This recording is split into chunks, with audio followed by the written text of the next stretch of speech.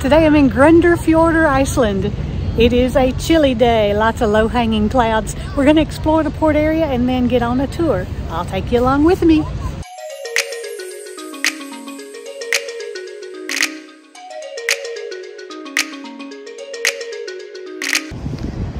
Once again, we have a tendering process.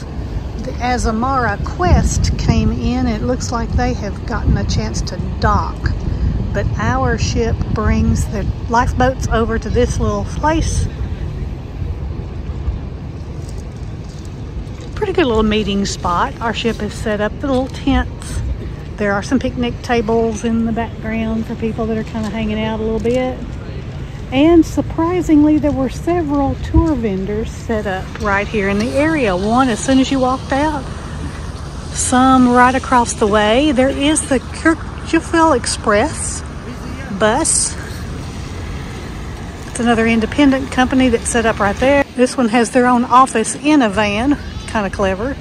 Other big buses loaded up right here that were from independent tours as well. The ship excursion buses are parked very conveniently located right at the top of the ramp when you get off the tender.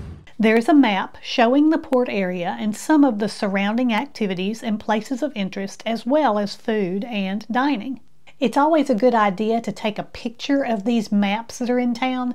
Then you can refer to that photo when you're walking around town trying to find places. It is not quite time for our own tour to meet up yet, so let's take a closer look around the immediate Tenderport area. Across the street is the Kirkjufell Express bus. It looks much like a city bus and it advertises that it takes guests to the Kirkjufell Falls and a view of the Kirkjufell Mountain from the falls. The price is 15 euro per person and they did accept credit cards. The bus leaves every 30 minutes, usually on the hour and half hour. Behind the express bus is a motor coach with an advertised tour. This is the Shark Tour, in addition to a 40 minute tour of the Shark Museum this tour promises to stop at some viewpoints, the lava fields, Mount Kirkjufell, and Kirkjufellsfoss. Foss at the end of a word means waterfall. So anytime you see F-O-S-S at the end of the word, expect to see a beautiful waterfall. Looks like an interesting tour, and if we did not already have a tour booked with Bus Travel Iceland, we would have booked this one. Once the bus drove off, I noticed a small souvenir table and tent set up, and there were restrooms in the gray building. Before we board our motor coach for the tour, let me take a moment to ask you to please like this video if you're finding it interesting at all, and if you've not yet subscribed, please consider subscribing to my channel. This will help my YouTube channel to grow, and it will get my videos out to more people. Thank you! We boarded our motor coach and headed out of the port area and through the town. It is not a very large town, and I'm always interested in the buildings and the homes all around the world. We passed several people who decided to hike to the waterfall, which is doable for the energetic or the frugal, but my energy has its limits and my budget will allow it, so the bus ride seems to be a great option in my opinion. Plus, it could start raining any minute, and I have heard the rain here can blow sideways. That just does not seem appealing. Our first stop is here. You make your own guess at how to pronounce that. If you're coming here on your own, there is a fee to park, and our guide said we have no admission fee and to walk on by. Our guide also said this mountain is the most photographed mountain in Grundarfjordur, and she did not know why, as she thinks there are more spectacular mountains.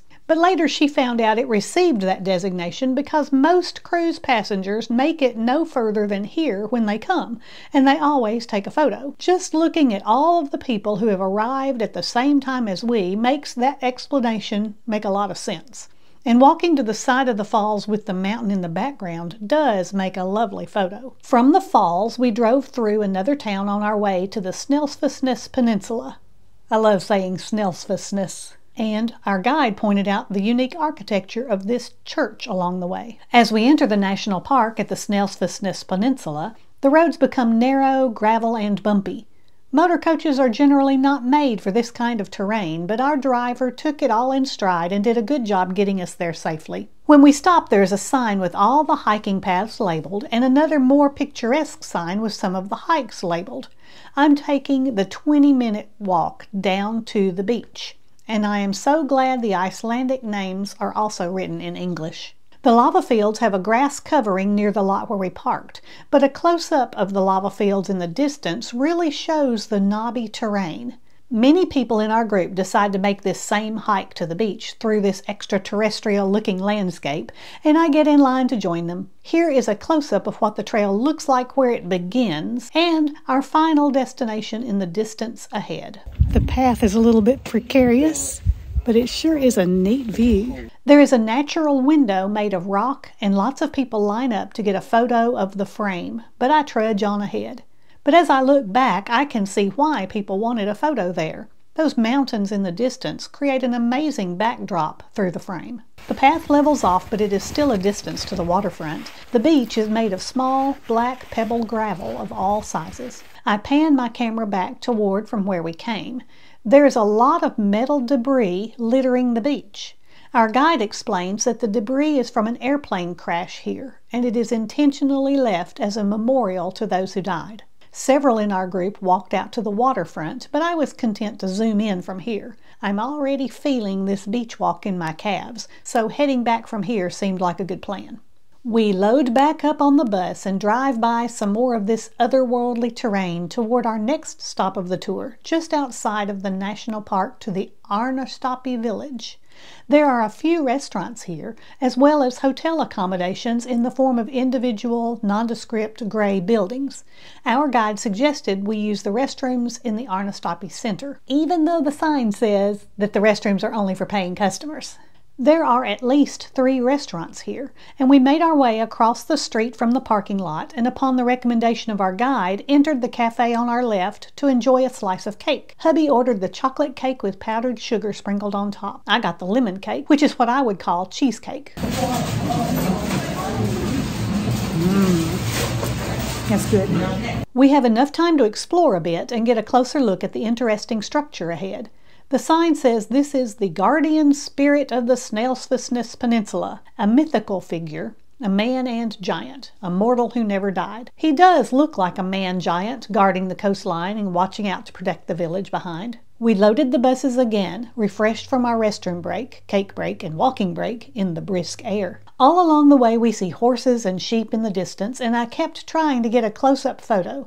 I did capture a couple. Here is a sheep by the side of the road, and those white dots on the mountainside are horses. I was able to snap a quick photo of some people on a tourist horse ride as we passed them. Our final stop on the tour was to the Black Church, the Búða Kirkja, in Norway, we heard Kirk, K-I-R-K, for church, and Kirkja is very similar here in Icelandic. The church was not open to tour the inside, but the informational sign indicates that it is still in use today. The stone wall has grass growing on top, and it surrounds a graveyard. We settle back in our seats for the drive back to our tinder dock and pass the Kirkjufell mountain and I get a view of the homes and the businesses from this side of the street as we head back into town. Once back at the Grundarfjordur Tinder Dock area, most everyone heads back to the tinder boat to return to the ship, while I pan around to just soak it all in one more time. This is Shirley with Shirley's Journeys, and I hope all of your journeys are pleasant ones.